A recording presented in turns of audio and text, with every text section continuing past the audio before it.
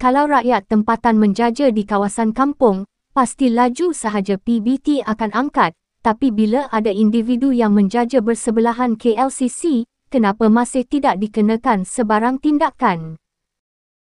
Itulah yang menjadi tanda tanya, bagaimana peniaga seperti ini dibiarkan meniaga pada siang hari di tempat yang menjadi tumpuan awam.